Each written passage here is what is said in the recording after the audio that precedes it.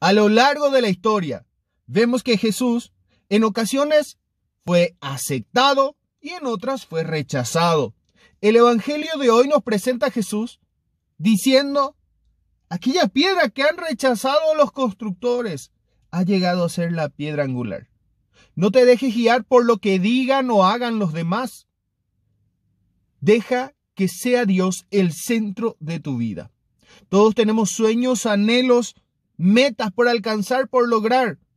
Pero si lo basamos en la fe, en la confianza plena en el Señor, poniendo todo en manos de Dios, veremos que todo es distinto. Para Dios no hay nada imposible. San Agustín decía, reza como si todo dependiera de la oración, pero trabaja como si todo dependiera del trabajo.